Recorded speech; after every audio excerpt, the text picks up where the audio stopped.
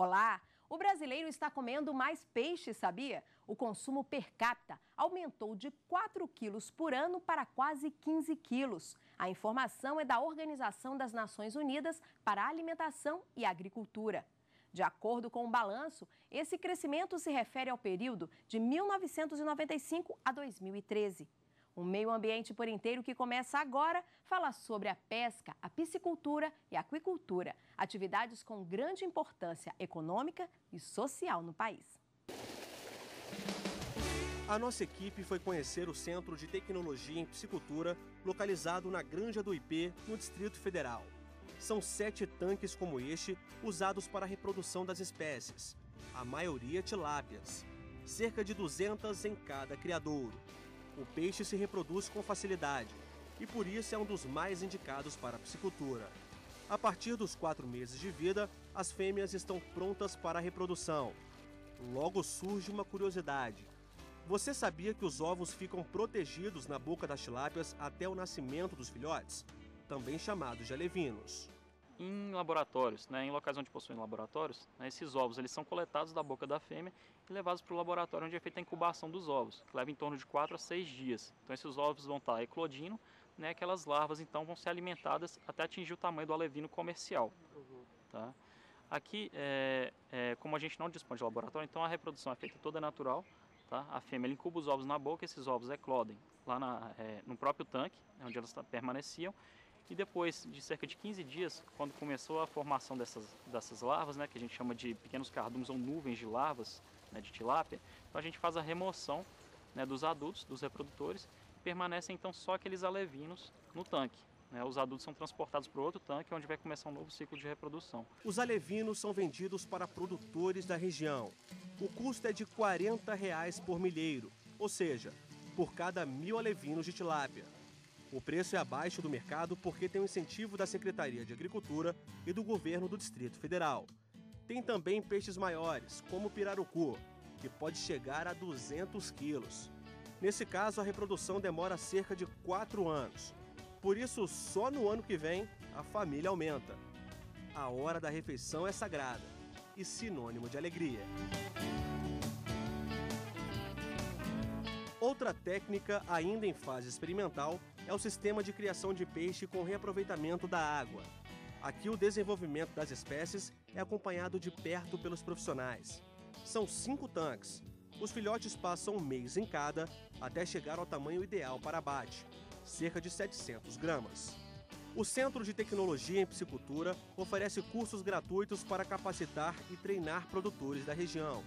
O zootecnista explica o que é preciso para o licenciamento do empreendimento. Para o produtor iniciar na atividade de piscicultura, ele está construindo ali um, um, viveiro, né, um tanque de piscicultura que a gente fala, ele precisa primeiramente estar tá procurando um órgão ambiental né, do estado ou mesmo do município. Então ele vai entrar com um requerimento de obtenção da outorga de direito de uso de recursos hídricos, né, obtida essa outorga, tá, então ele vai dar entrada no processo de licenciamento ambiental no IBRAM, tá, onde eles vão exigir né, uma série de, de descrições do empreendimento, tá, como se fosse um projeto, mesmo, né? Daquela, dependendo do tamanho da área que vão ser implantados esses tanques, pode ser um procedimento simplificado, uhum. né? Ou até o que a gente chama de dispensa de licenciamento ambiental, né? Que hoje é conhecido como declaração de, de conformidade de atividade agropecuária, né? Que é a DCA, tá? que é expedida pela própria Secretaria de Agricultura ou pela Emater. No caso da piscicultura, esse documento ele dispensa do licenciamento o produtor que, que cultive, né?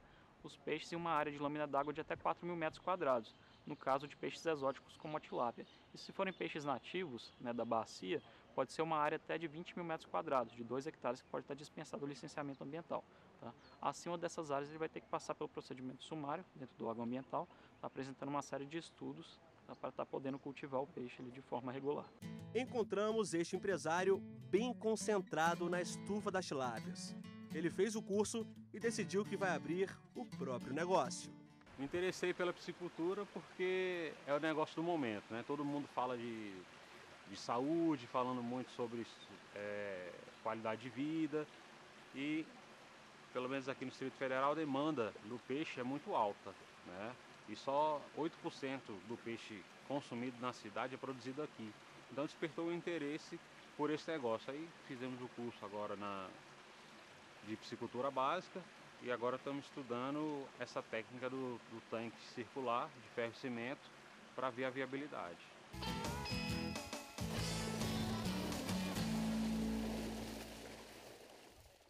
E como combinar lucro e sustentabilidade neste setor? Quais as regras? O que diz a lei para quem quer investir neste tipo de negócio? As respostas na reportagem de Leonardo Ferreira. Dados da Organização Mundial da Saúde mostram que nos últimos anos o consumo de peixes por habitante aumentou mais de 50% em todo o país. Passou de 4 para 9 quilos por ano. Apesar do crescimento, ainda está abaixo do recomendado, que é de 12 quilos. O que será que falta para as pessoas comerem mais esta carne branca? Por nós morarmos em uma cidade da região centro-oeste, a cultura da alimentação de peixe não é tão difundida aqui. Aí acabamos por optar mais por carne de gado, de frango e de porco. O preço é caro, o peixe é de baixa qualidade, ele vem congelado e mas também eu estou em Brasília, não estou na costa, né? Talvez poderia haver algum tipo de incentivo no sentido de reduzir o, o preço do peixe nos supermercados mais para o interior do país, né? Até porque a gente sabe que no litoral eles são vendidos a um preço bem mais acessível, né? De um lado, gente que justifica o baixo consumo. Do outro, um alerta à saúde. De acordo com esta nutricionista, o alimento é nutritivo e deveria fazer parte do cardápio com maior frequência. É uma proteína mais fácil de digerir, é uma carne mais fácil de digerir. A, a digestão e a absorção é bem mais fácil, né? Então, isso já é uma coisa interessante. A carne vermelha já é um pouco mais indigesta, aliás, bem mais indigesta. Segundo, a, o pescado tem, em média, quatro vezes mais cálcio do que a carne vermelha. Isso é uma coisa bastante, um dado bastante interessante.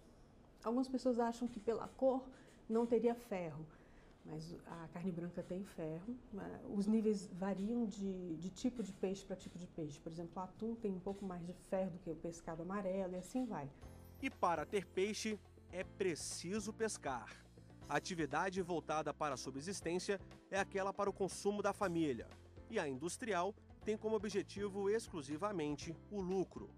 De acordo com o secretário adjunto da Pesca, existem cerca de 900 mil pescadores registrados no Brasil. Cada pescador, para ele poder ter direito a exercer a sua profissão, ele precisa fazer, quem ainda não, não teve, fazer o seu registro inicial para poder ter direito a exercer essa atividade. O secretário chama atenção para o período de defesa estabelecido pelo IBAMA para proteger a reprodução das espécies. Ele é o período em que a espécie está em reprodução, seja ela na, nas áreas continentais, nos rios, açudes, etc., ou na área marinha. Então esse período é estabelecido para poder proteger a espécie né, da sua reprodução. Uma vez para a gente poder fazer a pesca sustentável. Né? Então, com isso, a gente garante é, o equilíbrio da espécie durante é, toda a longevidade, né? para que não ocorra a, a, pesca e aí vai cada vez mais re, reduzindo os estoques pesqueiros. E atenção quanto aos equipamentos: nem tudo é permitido. A Lei de Crimes Ambientais proíbe o uso de explosivos ou substâncias que, em contato com a água, produzam um efeito semelhante, além de substâncias tóxicas e outro meio proibido pela autoridade competente. O descumprimento pode gerar multa de 700 a 100 mil reais ou pena de 1 a 5 anos de prisão. O meio ambiente por inteiro foi até esta loja no Distrito Federal e mostra agora um pouco mais sobre o mundo da pesca. Encontramos o José Cláudio, diretamente de Maceió, Alagoas, dando uma olhadinha nos produtos. Ele garante que é bom no que faz. E para mostrar que não é história de pescador, ele tem tudo registrado. Esperto, hein, José Cláudio? Rapaz, a pessoa fica tudo doido querendo. Cadê? Eu quero comer o peixe e tal. Rapaz, olha. Aí minha mulher, você fica postando essas coisas na internet aí, não é complicado, né? Fica todo mundo querendo o peixe, né? E olha só porque o José Cláudio passa horas concentrado. Já deu para ver a quantidade de produtos, né? Iscas artificiais, chumbada, anzóis, linhas, opções para todos os gostos. Dos equipamentos simples até os mais sofisticados. Um kit de pesca pode variar de 30 a 3 mil reais, como esse daqui, uma vara de fabricação europeia e carretilha top de linha no mercado. Cada modalidade de pesca tem os equipamentos adequados. Estes aqui são os mais procurados na loja, os campeões de venda. Israel, explica pra gente o que, que nós temos aqui e a utilidade de cada um desses. Primeiramente o molinete, que vem sendo mais usado no, no Brasil nas últimas décadas, tanto pela facilidade de manuseio, tanto pela disponibilidade no mercado. Já a carretilha, né, um equipamento focado mais para pescadores mais experientes, tanto pela leveza quanto facilidade no uso da pesca com iscas artificiais. E os equipamentos de fly, já uma pescaria menos difundida no Brasil, porém que vem crescendo a cada dia. Israel tem 21 anos. O vendedor costuma dizer que a idade é o mesmo tempo de pescaria. Minhas primeiras lembranças aos seis anos é o que eu me lembro já pescando no Araguaia, ali no Luiz Alves. Então, a pesca vem de muito tempo já. Isso influenciou também para eu começar a trabalhar com pesca. Já era um, um setor que eu já entendia bastante, então foi o mais fácil de, de me habituar aqui. Para o vendedor, o melhor cliente é o da pesca esportiva, aquele em que o peixe é fisgado, mas depois volta para o habitat natural. É o cliente que mais se dedica e mais, consequentemente, que mais gasta, né, com o hobby dele. Se para alguns o futebol é paixão nacional, outros encontraram na pesca a combinação perfeita. É uma, uma forma de, de lazer, de, de descansar, né, de né, tirar atenção. Realmente é muito bom. E no próximo bloco tem mais uma conversa com o diretor de aquicultura da Federação Candanga de Pesca Esportiva, Turística e Ambiental, Elmar Wagner. Com a gente também a representante do Ministério da Pesca e Aquicultura, Maria Fernanda Nince. É só um instante. E o meio ambiente por inteiro está de volta e para participar do bate-papo aqui no estúdio com a gente, Elmar Wagner. Ele que é diretor de aquicultura da Federação Candanga da Pesca Esportiva, Turística e Ambiental. Também com a gente, Maria Fernanda Nince, ela que é secretária de Planejamento e Ordenamento de Aquicultura. Aos dois, muito obrigada pela participação. Aquicultura, pesca e piscicultura, tem diferença? A agricultura é um termo bem genérico, bem amplo é, dentro do que nós poderíamos chamar de agricultura, que é o, a, a área que trata de atividades de produção, tanto vegetal como animal, no caso, é, em, em, meios aquáticos. É, tudo aquilo que se faz em meios aquáticos, por exemplo, a hidroponia é parte da agricultura e algumas outras atividades que se trabalha o, o meio aquático. Já a piscicultura é, é um ramo da aquicultura, uma parte da aquicultura, que trata especificamente do, da criação né, de, de, peixes. É, a, a, outras, outros ramos, como por exemplo a carcinocultura, que é a criação de camarões, né, a, a própria a criação de, de mariscos, mexilhões, é, vieiras, etc., forma outro grupo, que é chamado de maricultura. Né? E, enfim, são, são ramos né, dentro da, da aquicultura dentro. que definem a atividade humana específica. A, a, pesca, por outro lado, é, ela é uma atividade um pouco diferente na medida em que ela não é bem um criatório. Né? A pesca é... A pesca, genericamente, inclusive, a maioria dos dicionários dizem que é nós capturarmos alguma coisa de dentro da água. Né? Não precisa ser pesca só de peixe. Podemos pescar, é, pescar qualquer pescado, mas uh, de, de, como poderíamos pescar também outros, outros objetos em meio aquático, né? dentro de água. Mas nós uh, temos o entendimento de que a pesca, basicamente, ela trata de, da captura, né? de, de pescado em geral, então não só peixes, mas também outros, outros pescados, e não necessariamente com reposições e etc, etc. Ou seja, é uma atividade bastante ligada ao extrativismo. Né? É, não necessariamente predatória, né, de seguirmos os rituais e as coisas que são recomendadas, mas uh, ela é diferente da piscicultura na medida em que nós não temos exatamente um, um controle sobre o, o processo de criação. Aquicultura no Brasil, como é que está esse setor hoje? Bom, o que nós tivemos no ano de 2013 foi o, considerado né, uma alavancada no setor, é, principalmente pelo é, estímulo da produção em grandes reservatórios. Então, é o que nós achamos, chamamos de acesso a águas da União, que são águas desses reservatórios federais ou entre um ou mais estados e contempla aí também toda a, a costa brasileira. Em especial nos reservatórios, nós temos um sistema produtivo em tanque-rede que ele é 10 vezes mais é, produtivo num sistema intensivo em relação a um de viver escavado, por exemplo. É possível produzir de 100 a 250 é, toneladas por hectare, né? É, ao contrário das 10 toneladas que a gente tem dentro de viver escavado. E esse acesso a águas da União se deu principalmente é, no Rio Tocantins, ali na bacia do Tocantins, nos estados de Tocantins, no estado de é, Goiás, Mato Grosso, Mato Grosso do Sul e é, Minas Gerais, São Paulo. Então, nós tivemos o acesso a essas águas. Né? Esse acesso foi disponibilizado aos produtores também de diferentes tamanhos, o produtor familiar, através de áreas que a gente considera não onerosas, que seriam para atendimento social, e para empresários, no que a gente chama de áreas onerosas.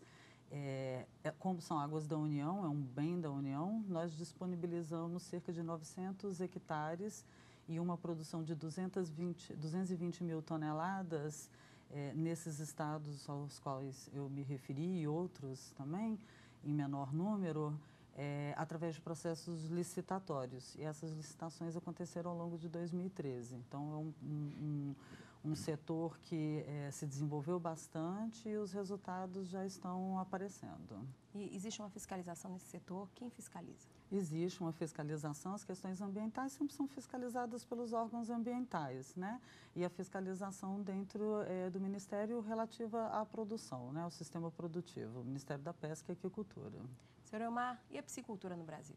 A piscicultura ela tem sofrido, no meu entendimento, altos e baixos na medida em que, institucionalmente, nós também passamos, a, nos últimos 30 anos, ou nos últimos 20 mais notadamente, começamos a, a, a experimentar a, localização da, da, da, da, atividade em diferentes institutos. Né?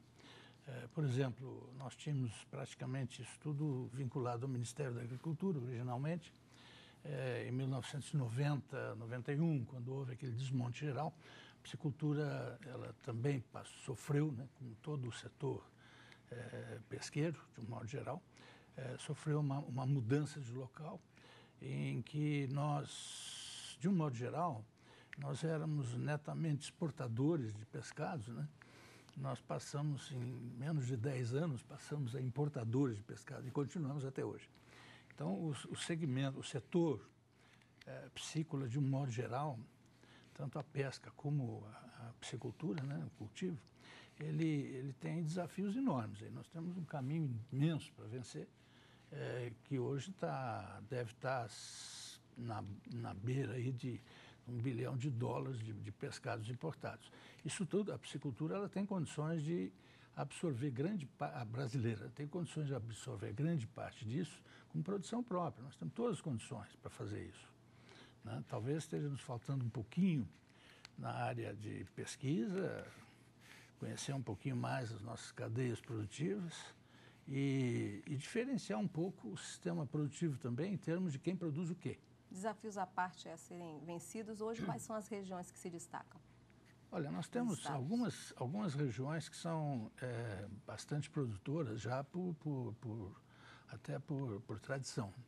Uma delas é, é, o Paraná, o norte do Paraná, está com uma piscicultura já bastante intensiva né, e bem avançada, com uma absorção de tecnologias bastante atualizadas também, um parque de, de industrial de processamento igualmente é, é, bem organizado e a ponto dele vir competir aqui conosco, aqui no, no, no, no entorno, né, no DF.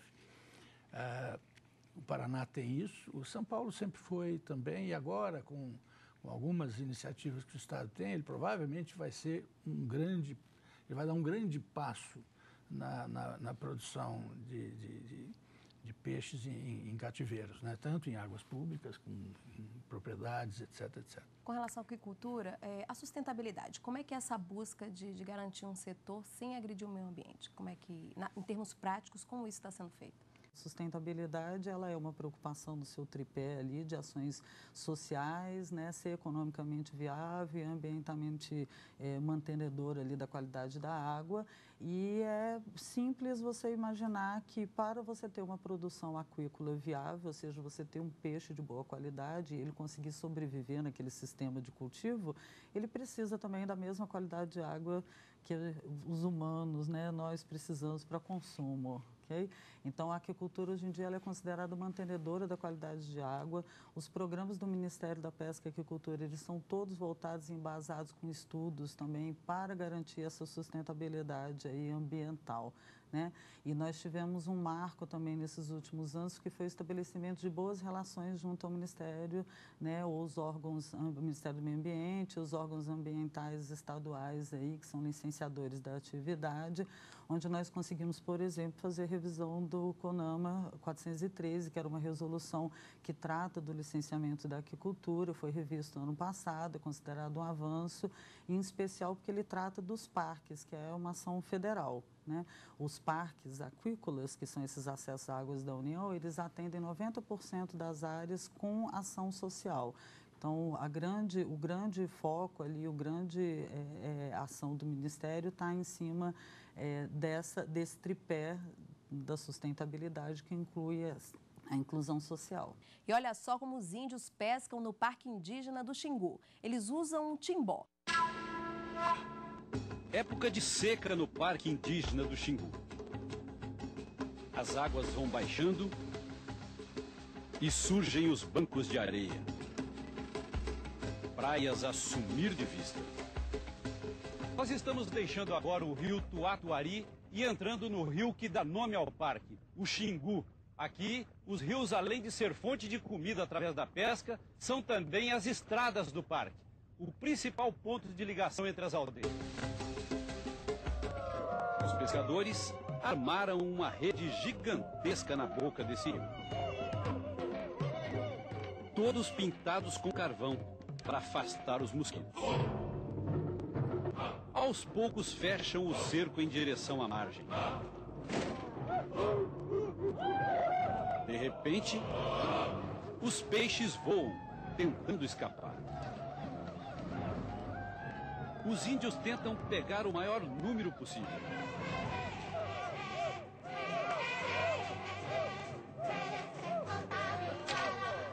Os meninos atacam com as flechas. A agitação é muito grande. É preciso acalmar os peixes, senão eles vão fugir todos da rede. Por isso eles estão usando o timbó. Esse pó que paralisa o sistema nervoso dos peixes e deixa eles calmos aqui dentro da rede. Agora todos ajudam. O filme de índio peixe se mata na mordida.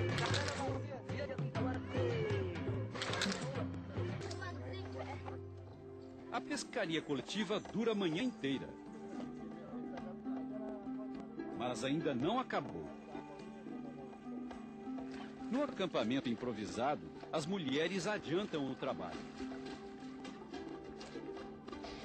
E as crianças dão uma mãozinha para acender o fogo. Eles montam um giral, onde os peixes vão ficar assando durante toda a noite. É o que chamam de moquear, um jeito de conservar o pescado por bastante tempo. E essa prática é legal?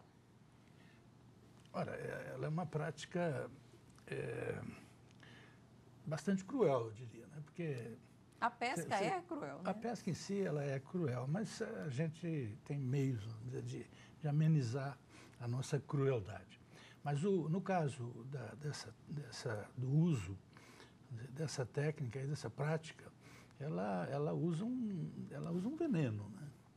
É, e não é recomendável, eu diria. Não é recomendável por, por, por várias razões, não só pelo ambiente, pelo meio em si, né, pelo peixe em si, mas também pela, pela condição humana né, de, de, manuseio. Mas, de qualquer forma, é, existem, existem práticas que são, eu diria, que são menos danosas. Né? É, pra, como tranquilizante, nós mesmos aqui no mercado do peixe, ali em Oceasa, a gente usava o gelo, né? usava água gelada. É um tranquilizante, ameniza bem o processo né? e bastante mais apropriado, eu diria, do que esse. Ok. Muito obrigada aos dois pela participação no programa. Obrigado a você. Obrigado. E o Meio Ambiente por inteiro fica por aqui. Você pode rever os programas no site da TV Justiça. Basta acessar www.tvjustiça.jus.br. E se você tiver alguma sugestão de reportagem, escreva para a gente. O e-mail é meio ambiente por inteiro tudo junto arroba stf.jus.br. Obrigada pela audiência e na semana que vem a gente tem um novo encontro marcado. Tchau, tchau.